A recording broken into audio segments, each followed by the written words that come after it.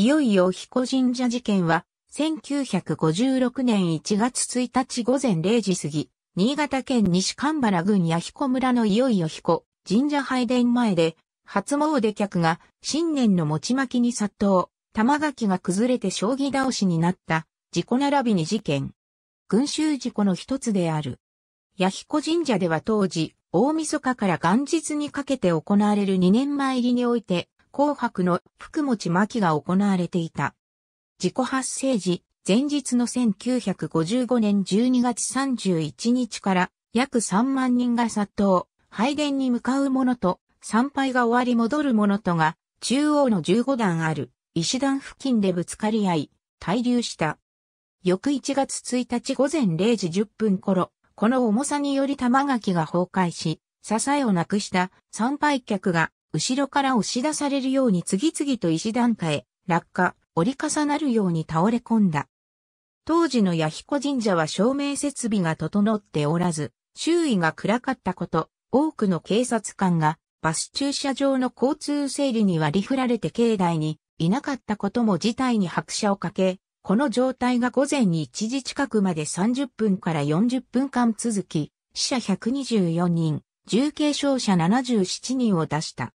午前1時頃より、警察、青年団、消防団などが救助作業を開始し、負傷者を病院へ搬送するとともに遺体を、配電、配管所、八彦小学校の体育館などに運んで安置した。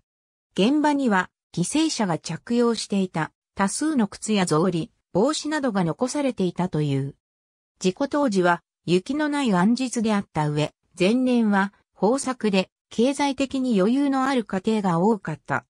またバスなど公共交通機関が新潟県内でも大きく発達した時期で近隣市町村のみならず遠方からの参拝者が増えていた。このためそれまで多い年でも2万人程度だった弥彦神社の参拝者が約3万人と大幅に増加していた。これに対して警備の警察官は16人であり、その多くが交通整理に回っていたこと、また、境内の照明の不足も被害を拡大した一因として挙げられる。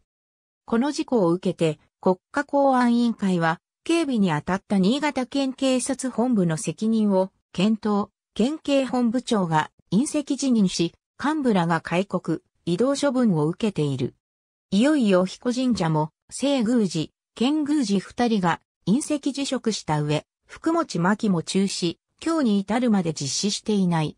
また、これ以後は初詣に際しては、中央の参道を行き、拝殿両側の小道を帰り専用とし、一方通行で参拝を行うようにした。この一方通行の措置は今日においても2年前りから初詣にかけて実施されており、境内では所轄の西館警察署が参拝者の整理を行っている。ありがとうございます。